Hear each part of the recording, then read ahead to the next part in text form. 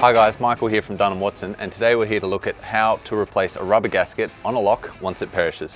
Here at Dunn & Watson, a lot of our locks are supplied with a natural rubber gasket. This is perfect if you're using the lock on an internal uh, application, inside a canopy or inside a ute.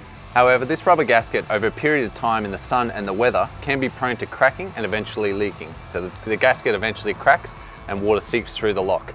Um, now because our locks, our, our compression locks, folding T-handles, paddle handles, they're designed to last a lot longer than the period of a gasket, there is a quick fix to get you out of this problem.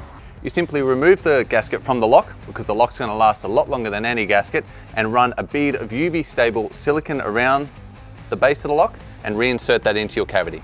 This will not only reseal your lock with outstanding UV resistance, it will also uh, provide adhesion between your lock and the surface. I hope this has been helpful. If you have any questions, please feel free to jump on the website, give us a call, or flick us a message on Facebook.